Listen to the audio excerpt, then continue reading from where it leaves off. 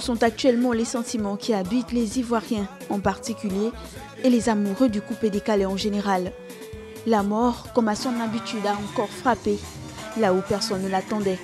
Sur son sillage, DJ Arafat, parfois appelé Yorobo, commandant Zabra, et anciennement Sao Tao, le dictateur, qui a quitté le monde des vivants ce 12 août, plongeant des milliers de personnes dans un chagrin innommable. Sa moto a percuté une voiture conduite par une journaliste de Radio Côte d'Ivoire.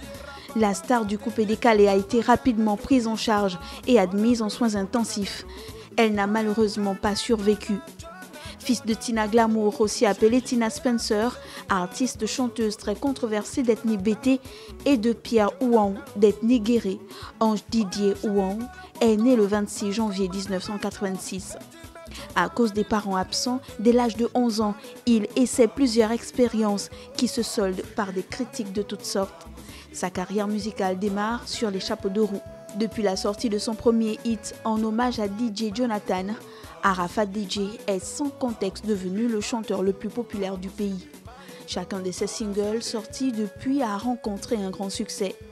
On observe tout au long de sa jeune carrière un changement de style vocal et musical.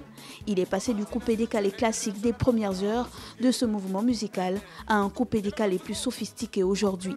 Sa voix est devenue plus rock, les instrumentaux plus travaillés et plus électroniques, mélangeant des sonorités nouvelles avec une place importante donnée à la batterie.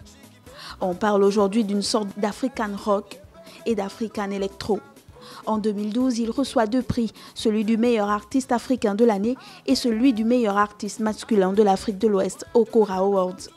Un sacre qui le positionne comme un ambassadeur de la musique africaine dans le monde. Père de quatre enfants, il laisse une dizaine d'albums et un style unique. Il a vécu comme une étoile filante.